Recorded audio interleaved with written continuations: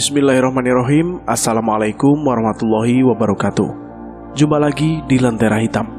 Tentunya masih bersama Bobby di sini Yang akan menceritakan kisah misteri pendakian gunung. Bagaimana kabarnya teman-teman semua? Pastinya baik-baik saja dan sehat selalu. Dan selalu dimudahkan segala urusannya. Entah urusan apalah yang penting Yang kita inginkan selalu tercapai. Amin. Pada kesempatan kali ini saya akan menceritakan kisah misteri pendakian gunung yang berjudul Solo Hiking di Gunung Merbabu di malam Kabisat. Cerita ini kami ambil dari Twitter yang ditulis oleh Balakarsa. Bagi kalian yang ingin membaca ceritanya langsung, silahkan kalian bisa follow di @balakarsa. Tidak usah lama-lama, kita langsung saja menuju ke ceritanya. Cerita horor dimulai.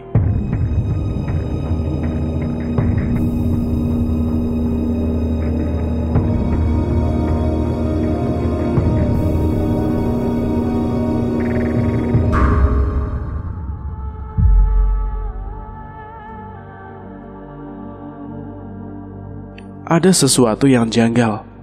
Pendakian seorang diri di jalur ilegal.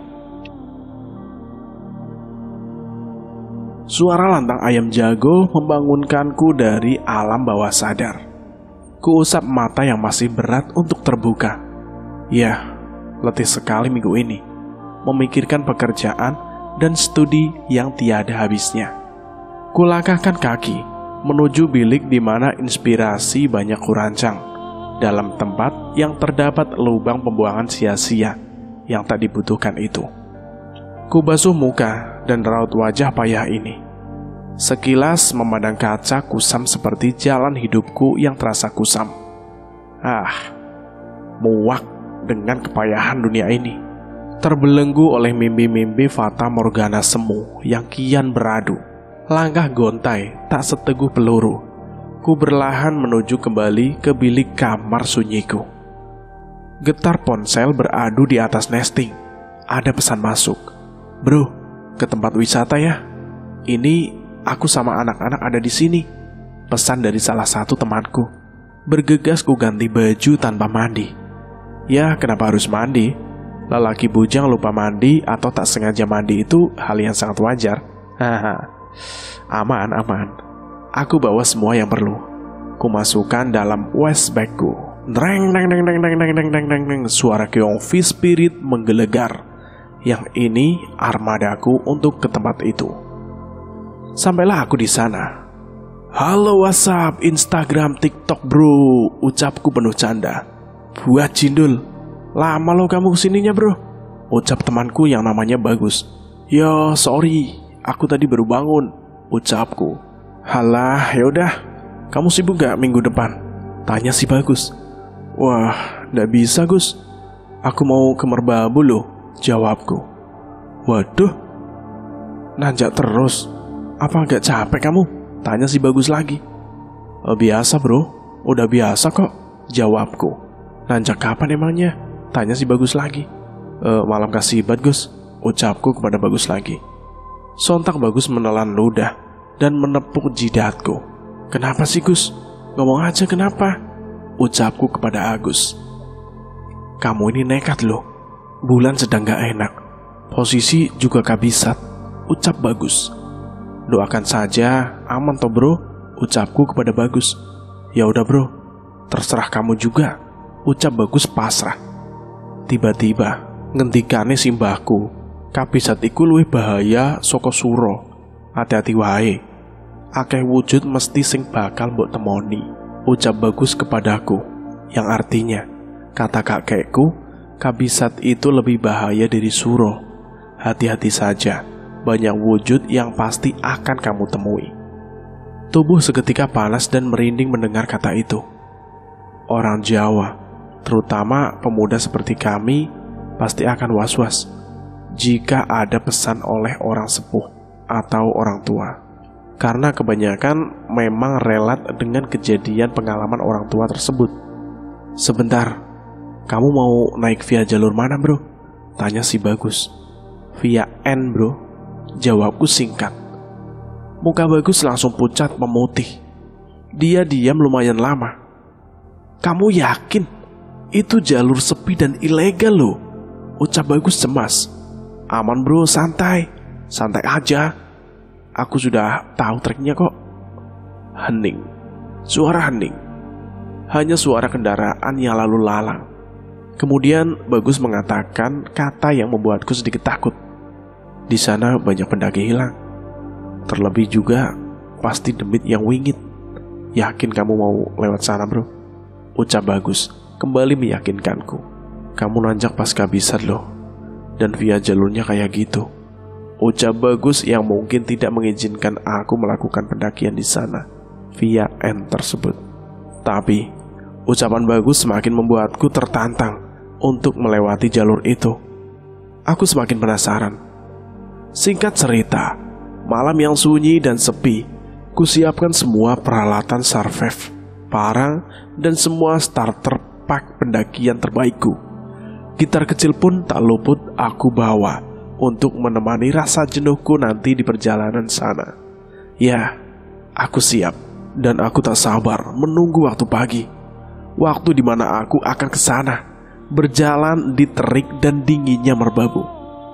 Dingin yang mengisyaratkan bahwa pelukmu merbabu akan selalu kurindu dalam tiap bait-bait untayan tulisanku ini. Bait yang kutulis di merbabu via N. Aku berangkat dari kota Sidorjo. Kota kecil yang kurasa magis dan rindu bagi yang pernah singgah di situ.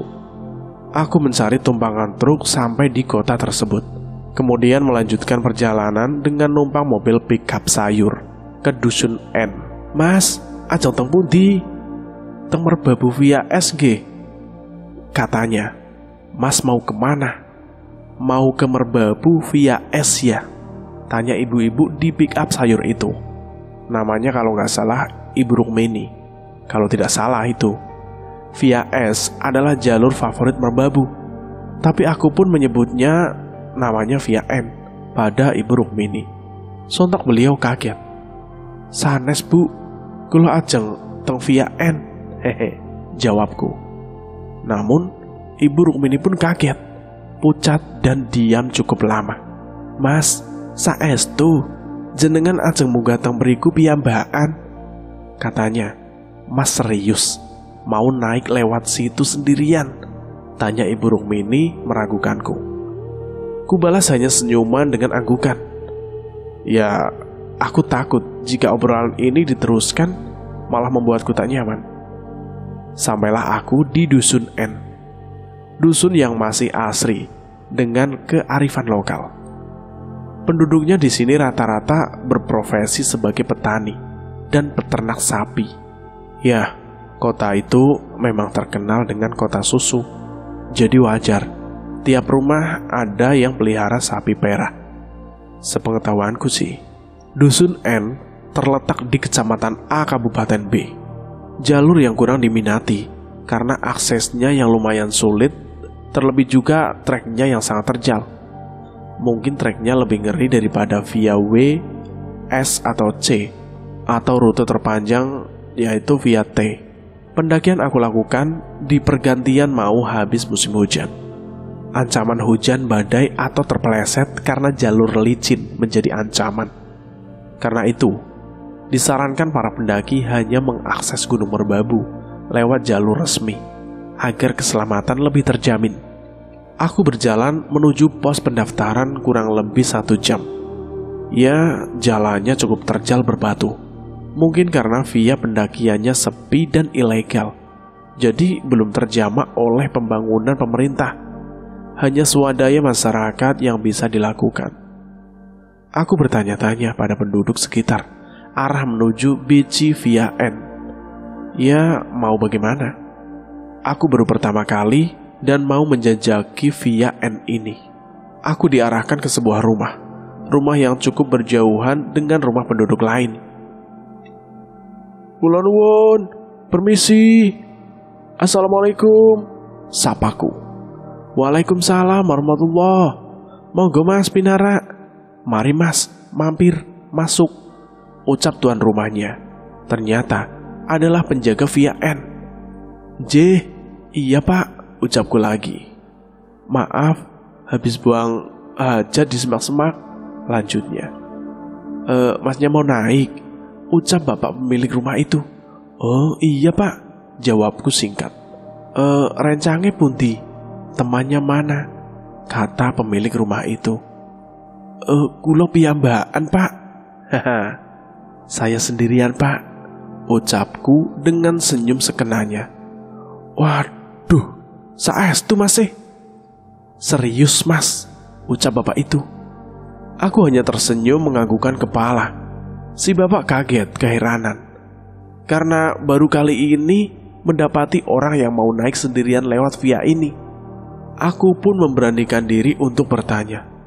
Sak derenge ngapunten pak. Lah enten nopo teh neng dubur? Sebelumnya mohon maaf pak. Lah emangnya itu ada apa di atas? Ucapku penasaran. Dan hahaha. Bapak itu tertawa menggelagar, entah karena apa. Kemudian bapak itu berkata sambil tertawa lagi. Hahaha. Yo enten nemo alas merbabu Thomas. Hahaha. Adanya itu cuma alas merbabu, ucap bapak itu. Bapak itu pun izin mengambil buku tamu.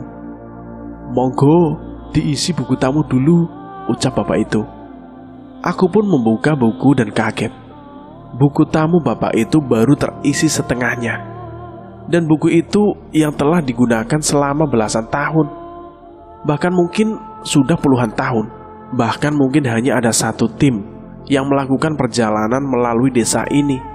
Dan Mapala dari kampus adalah yang paling rajin naik via ini. Lewat tutur bapak pemilik rumah sekaligus penjaga via ini.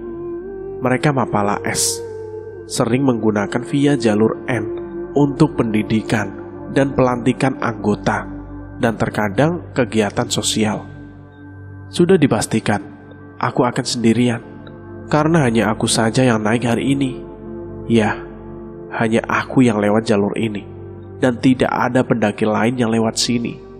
Sedikit merinding juga, tidak akan berpasangan dengan satupun pendaki sampai pos 3. Hah, biarlah. Sejenak, aku menyempatkan diri untuk berbincang sejenak dengan bapak itu sebelum melanjutkan perjalanan menuju ke camp 1. Bapak itu pun menceritakan sejarah desa ini. Menurut cerita turun-temurun, nenek moyang bapak itu, nama desa ini diambil dari seorang abdi dalam keraton Kesunanan Surakarta yang berilmu tinggi bernama Mbah Kertodeso. Pada suatu hari, Mbah Kertodeso diajak Raja Kasunanan Surakarta, Sinuwun Paku Buwono, melakukan ritual ke kawah Gunung Merbabu. Sepulang dari kawah Gunung Merbabu, Sinuwun kelelahan, lalu digendong Mbah Kertodeso hingga tiba di sebuah permukiman. Saat beristirahat di tempat itu, Sinuwun terpesona dengan keindahan alam sekitar. Beliau bersabda, tempat itu diberi nama Candisari, atau berarti tempat yang asri dan baik untuk bermukim. Setelah mengantar Sinyuwun sampai ke keraton, Mbah Kertodeso kembali ke tempat yang asri tadi untuk menetap dan menjadi sesepuh di sana. Mulai saat itu, wilayah tersebut dikenal sebagai Dukuh Candisari, tutur bapak itu. Cukup terkesan dengan sejarah dari bapak itu Sampai tidak terasa, perutku pun bermelodi, meronta minta diberi bahan bakar. Aku merasa malu, karena bunyi perutku terdengar oleh bapak itu. Aku dipersilahkan memesan makan, meskipun pemilik rumah tidak mematok biayanya. Ya, intinya adalah menggunakan sopan santun yang sesuai saat bertamu saja, tutur bapak itu.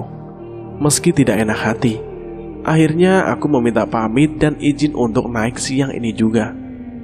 Pak, ngapunten, kulo pamit munggah nggih. Pak, maaf, saya pamit naik dulu ya. Ucapku kepada bapak itu. J mas, hati-hati J.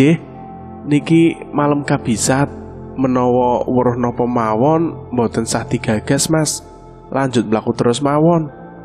Iya mas, hati-hati ya. Ini malam kabisat. Seandainya melihat apa saja tidak usah dipedulikan. lanjut jalan terus saja. Ucap bapak itu tersenyum.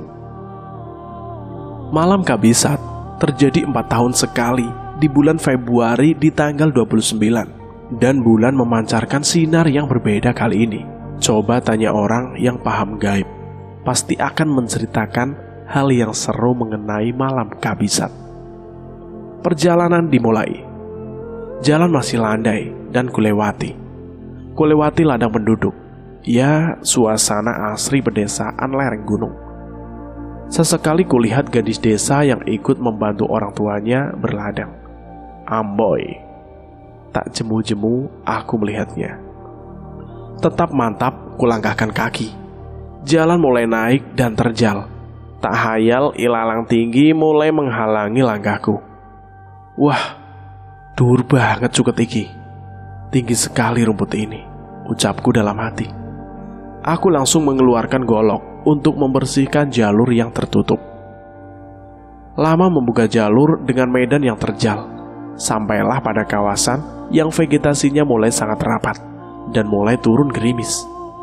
Aku mencari jika ada bekas tebasan golok atau apa pun, karena itu adalah jalur yang pernah dilewati. Tak terasa gerimis ini jatuh ke kulit, tetesannya seolah jarum yang menusuk-nusuk Ya, sensasi ini yang akan didapat jika terkena gerimis atau sialnya hujan. Tapi, aku lebih takut sama kabut. Ku percepat langkah dan tak hentinya aku mendayungkan golokku ke kiri dan ke kanan. Lanjut, jalan berliku, licin, terjal. Huh, ekspektasiku salah. Medannya ternyata jauh lebih berat dari apa yang aku bayangkan. Dan tiba-tiba, hal yang tidak kusukai di tempat ini. Ya, kabut. Karena kabut membuatku tak bisa mengetahui jalur. Ya, karena pemandanganku tidak bisa leluasa. Terlebih, ini bukan jalur resmi. Aku juga sedikit was-was jika bertemu hewan buas. Aku berjalan, perlahan. Kulihat ada pohon besar. Mungkin aku bisa mendirikan bivak di sana. Ini juga mau maghrib. Tak elok jika aku melanjutkan di waktu seperti ini. Alangkah baiknya aku beristirahat sejenak sambil menunggu kabut reda. Aku membuka tas kerilku, tapi angin pun menghantam dan menghembus sangat kencang. Waduh, aku sedikit was-was. Kenapa alam menyambutku dengan kurang ramah? Banyak tanyaku yang tak bisa kujelaskan. Ah, Raurusan. Ah, tidak peduli. Ucapku dalam hati. Dan aku panjatkan doa. Aku berinisiatif mendirikan tenda memunggungi arah angin. Kebetulan tendaku single layer, jadi pintunya cuma satu, jadi aman. Tak lupa akan ku double untuk playset. Biar angin tidak terlalu masuk dan embun tidak masuk juga jika gerimis. Aku dirikan tenda dengan susah payah Sulit, sangat sulit mendirikan tenda di situasi seperti ini, terlebih lagi seorang diri. Dan akhirnya tendaku berdiri. Aku masukkan tas kerilku dan semua bawaanku. Tak lupa aku buat lubang diameter sekitar 1 meter, guna membuat api unggun nanti, sekedar penghangatan tubuh. Saya membuat api unggun karena terdesak dan ini jalur ilegal. Tapi dengan catatan harus bertanggung jawab atas api unggun yang dibuatnya dengan mematikan dan merapikannya kembali. Jangan sampai ada bara api yang terlewat satupun. Setelah semua siap, aku pun membawa parang dan pisau multiguna guna mencari kayu bakar. Angin begitu gila dan ganas. Suaranya bak deru kapal perang. Grak, grak, Wah, semoga aku selalu diberi perlindungan oleh Tuhan. Aku menyisir setiap bawah pohon untuk mencari kayu kering. Walau ku tahu kayu banyak yang basah. Tapi beruntung, pohon di gunung kebanyakan masih bisa dibakar walaupun basah. Entah itu karena apa, aku pun kurang paham. Aku mengumpulkan tanpa menebang atau memotong pohon hidup. Tak lupa aku meminta izin Kulo nuwun, Mbah. Kulo nyuwun kayune nggih. Permisi mbah, saya minta kayunya. Kata yang biasa, entah izin kepada siapa, tapi saya yakin kata ini kaya akan makna toleransi. Kukumpulkan dan kuikat dengan tali peracut. Kubawa menuju tendaku lagi. Aku berjalan, berlahan, dengan bantuan penerangan headlampku itu. Tapi, ada suara gitar dan suara ah. Mungkin suara itu suara perempuan bernyanyi dalam bahasa Jawa. Tepat suara itu berasal dari arah tendaku. Siapa ya? Perempuan yang berkidung dengan lantunan gitar di hutan seperti ini. Bukankah hanya aku yang ada di daftar tamu? Dan tidak ada pendaki lain yang lewat jalur ini. Siapa? Siapa dan siapa itu? Tanyaku dalam hati. Dalam rasa was-was dan merinding luar biasa. Suara siapa itu? Bener luput, ala becek lawan beja cilaka. Mapan saking ing badan priangga. Dudu saking wolia. Pramila den ngati-ati. Sakeh drugama, singgahana den aglis. Suara itu lantang terdengar dan membuat nyaliku ciut makna yang menyinggung pendakianku ini kurasa dapat diartikan benar, salah, kurang baik, baik. Demikian juga keberuntungan celaka bersemayam dari dalam dirinya sendiri, bukan dari orang lain.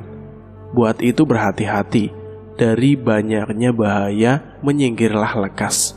Siapa yang tidak berdiri bulu kuduknya yang mendengar kidung nyanyian Jawa dan itu tembang Durma jadi teringat film kuntilanak kala itu. Sopo kaya ya? Siapa itu ya? Pertanyaan yang timbul dalam hati belum berani mendekat ke sana. Aku masih terdiam. Aku ragu mau melangkah maju atau mundur. Ah, kenapa aku jadi penakut seperti ini?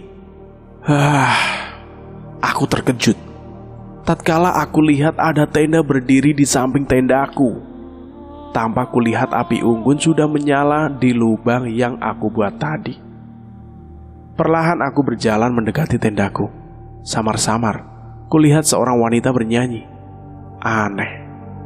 Dia mengambil gitar kecilku tanpa izin. Rasa takut berubah menjadi kesal dan penasaran. Aku bercepat langkah ke sana. Lalu, "Hei, siapa yang mengizinkanmu mengambil gitarku dan memainkannya?" Ucapku sedikit keras. Dia hanya terdiam dan masih melanjutkan bernyanyi dan memainkan gitarku. Dasar tidak ada sopan santun, umpatku dalam hati. Ku dekati berlahan-lahan, kuraih pundaknya. Dan ia langsung berhenti bernyanyi dan memainkan gitarnya. Berlahan dia mulai menunjukkan mukanya. Astagfirullah. Aku terkejut. Aku tidak percaya paras yang membuat mata akan terbuka lebar, paras ayu, senyum manis. Layaknya parasnya Geraldine disuguhkan di depan mataku. Aku tidak menyangka bertemu wanita cantik jelita di hutan belantara seperti ini. Tapi dalam hatiku masih kesal. Aku kesal karena dia tak sopan memakai gitar kecilku tanpa izin. Sejenak kami berpandangan. Iya mas, kenapa? ucap wanita itu. Suara lembut dan menggetarkan hati. Mbak, kenapa mbak pakai gitarku tanpa izin? Tanyaku kepada wanita itu. Hehe, maaf mas, habisnya saya panggil-panggil gak ada jawaban. Saya buka tenda, eh malah nemu gitar. Jadi saya pinjam, ucap wanita itu. Ya udah mbak, lain kali izin dulu ya mbak, ucapku lagi. Ya udah mas, sebagai permintaan maaf, saya bikinkan kopi ya sama makanan, tawarnya kepada aku. Iya mbak, saya juga capek. Terima kasih kalau mbak mau repot bikinin, ucapku mengiyakan. Gitarku pun ditaruhnya, dan lekas mengeluarkan kompor. Aneh, kompornya masih kompor parafin. Di mana kompor parafin adalah kompor bagi pendaki lawas. Kenapa tidak memakai kompor portable yang terbaru ya? Tanyaku dalam hati. Ah, biarkan saja. Banyak itu juga yang masak. Kenapa aku harus ribet memikirkan kompor? Tapi aku terdorong hasrat untuk ingin bertanya. Mbak namanya siapa? E, dari mana?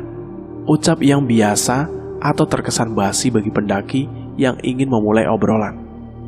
Saya Gayatri mas. Saya dari Pekalongan. Kalau mas dari mana?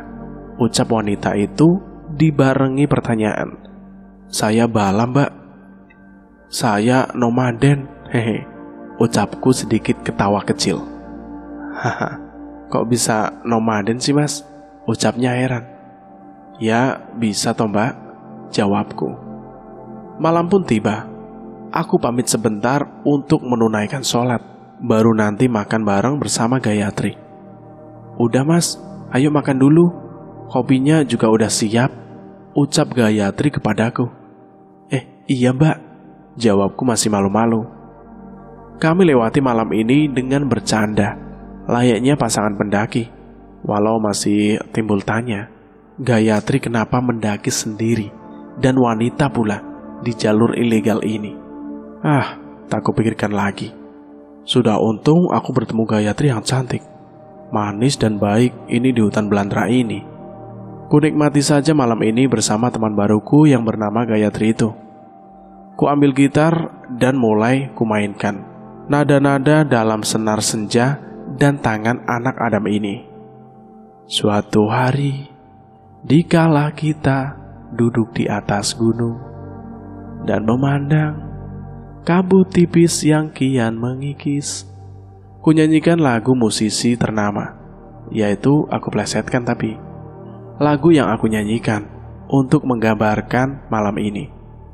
Sekilas aku lihat Gayatri tersenyum tersenyum manis dan tersipu malu. Kami menyanyikan lagu itu di malam sahdu ini bersama kabut dan angin yang menari mesra. Kobaran api asmara kian membara. Dalam deru angin yang berderap, bara api yang masih asik berbicara. Dan seutas lagu pamitan kepada malam yang temaram. Kami memutuskan untuk tidur dengan keadaan tenda yang bak dipukuli layaknya semak. Semoga kami masih bisa terlelap. Nyanyian dahan dan angin membuat irama melodi mistis. Instrumen alam ini layaknya berteriak dan mendominasi suara di gendang telinga. Aku paksakan untuk tetap tidur berselimut sleeping bag mumi dan beralaskan matras foil. Sungguh bisa dibayangkan hunian nyaman di belantara hutan. Haha, lelap. Aku terlelap. Mas, Tolong mas, aku kedinginan. Ucap Gayatri di sampingku. Mukanya pucat, matanya sayu, bibirnya membiru. Kamu kenapa mbak? Kenapa bisa masuk tendaku? Ucapku keheranan. Karena aku yakin, tendaku tiap tidur selalu ku gembok. Gayatri hanya diam. Kemudian mukanya berubah menjadi menakutkan. Seperti mayat yang sudah lama Aku terkejut dan tak bisa apa-apa. Dan, wah, ternyata hanya mimpi. Langsung kubuka tenda dan kulihat. Aneh, tenda Gayatri sudah tidak ada. Hanya tersisa secangkir kopi dan sepiring sarapan di depan tendaku. Tapi tunggu, ada tulisan di tanah di dekat api unggun. Tepat Gayatri malam tadi mendirikan tendanya. Tanah itu bertulisan, Trim Mas yang artinya terima kasih dengan emot tersenyum. Tak habis pikir olehku akan semua ini. Dari kejadian semalam, mimpi dan tulisan ini. Aku pun menikmati kopi dan sarapan. Entah itu dibuat Gayatri atau bukan. Di sana aku temukan juga batu bekas menulis di tanah itu. Aku bermunajat kepada Sang Pencipta. Pesan atau apa ini? sampai sekarang masih menjadi teka-teki. Cerita ini bersambung sampai di sini. Kalau penulis meneruskan cerita ini, kita akan meneruskan. Kalau penulis sudah menutup cerita ini, ya terpaksa cerita ini saya tutup sampai di sini. Kita tunggu saja bagaimana episode ke depannya. Apakah dilanjutkan atau tidak? Terima kasih buat teman-teman yang sudah mendengarkan cerita ini. Terima kasih juga buat penulis yang sudah mengizinkan kami untuk menceritakan kisah ini. Mohon maaf jika ada kesalahan kata. Kami, Bobby, pamit undur diri. Akhir kata, wassalamualaikum warahmatullahi wabarakatuh. Salam horor.